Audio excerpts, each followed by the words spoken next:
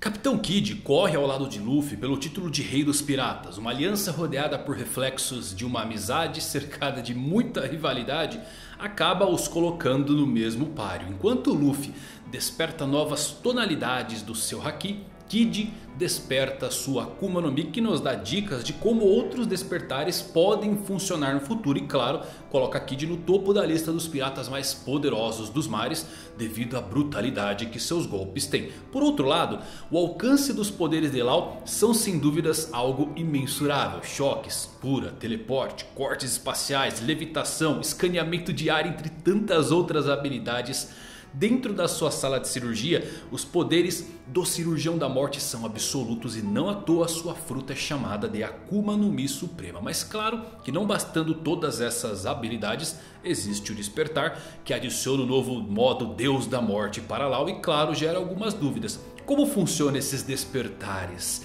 Qual o potencial deles? O que cada habilidade faz? Quer saber todos esses segredos? Então se liga que eu vou falar nisso agora.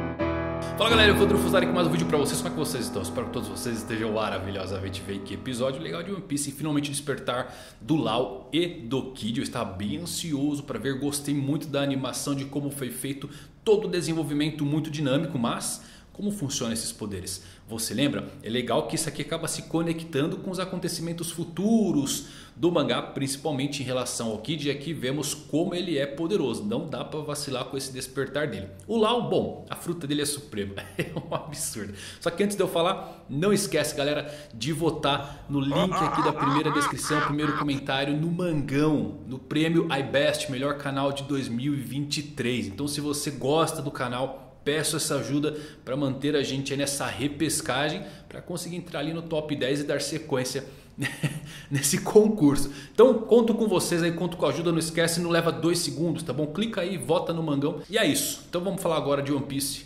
1056.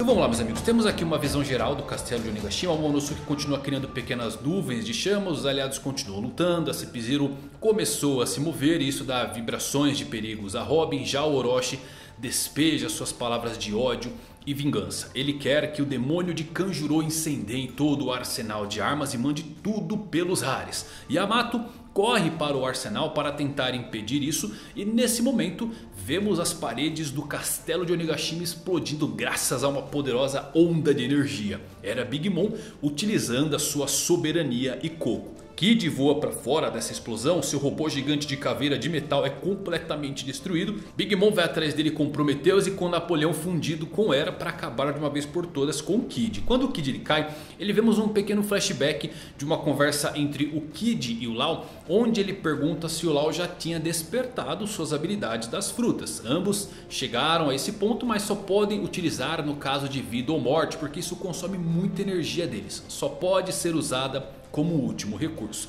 E esse é o melhor momento para isso. De volta à luta, Big Mom enquanto está atacando o Kid vemos então o Lau utilizando sua nova técnica, o Krum, aplicando a anestesia.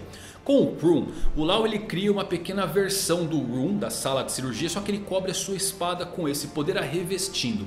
O Lau se teletransporta bem atrás da Big Mom e perfura a Big Mom por trás. Essa incisão é inofensiva, é indolor, mas graças ao Krum, o Lau pode atacar de outras maneiras. Então ele manda uma onda de choque poderosa dentro do corpo da Big Mom que grita de dor. Kid não fica parado e também usa o seu novo golpe, o Atribuir. Com esta nova técnica desperta, o Kid transformou Big Mom em um imã gigante. Ela começa a atrair todos os metais que estão ao seu redor. Kid então usa o seu épico Punk Crash soterrando Big Mom em uma pilha de metal. Só que isso não é o suficiente para derrotar a Mama que volta, utiliza o seu Soul Pocus, rouba a alma ali dos piratas das feras, tira um ano da sua vida para ficar mais poderosa e agora as coisas vão esquentar. E uau, isso é muito, mas muito legal de se ver animado. O que exatamente é o despertar das Akumas no Mi? O que sabíamos sobre isso? Os poderes das Akumas no Mi podem em raras ocasiões alcançar o despertar.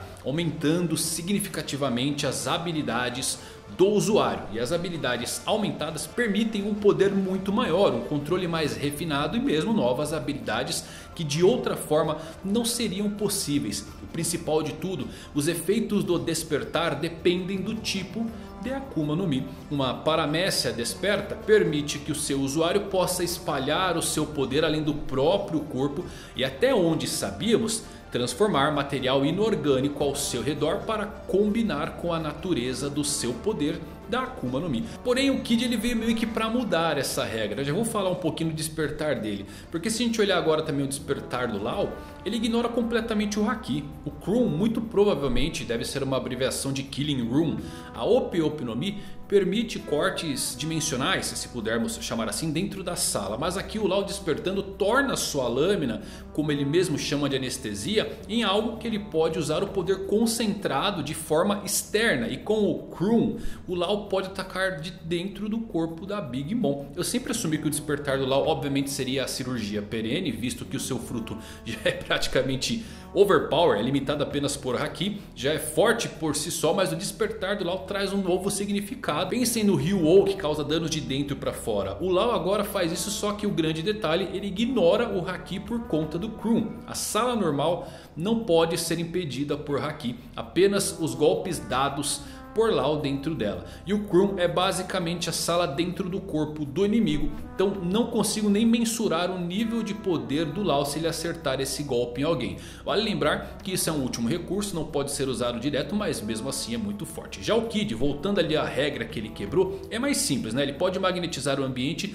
isso inclui seu próprio inimigo, o que faz sentido. Diferente de fios ou molde, que são materiais criados por humanos, o magnetismo ele é um fenômeno físico. E o Oda ele ampliou muito aqui sobre o despertar das frutas. Vale notar que os ataques de Kid e de Lau foram até narrados para o Kaido no capítulo 1001. O Kid disse que ele poderia esmagar Kaido e o Lau disse que ele poderia destruir seus órgãos por dentro. Muito legal, aquilo foi um prenúncio das capacidades do despertar de cada um deles. Ao transformar Big Mom em um imã, o Kid ele pode atrair todo o metal de Onigashima. Ele poderia tentar esmagá-la com ele ou apenas utilizá-lo para selar os seus movimentos e até jogá-la no oceano, como eles tentaram fazer lá no telhado. E o Kroon ele soa como o cortador perfeito para inimigos duráveis. Não vou longe em afirmar que a Ope no Mi obviamente se tornou a Akuma no Mi mais poderosa de One Piece. Tem versatilidade, tem poder destrutivo e tecnicamente uma escala infinita de alcance e possibilidades é uma fruta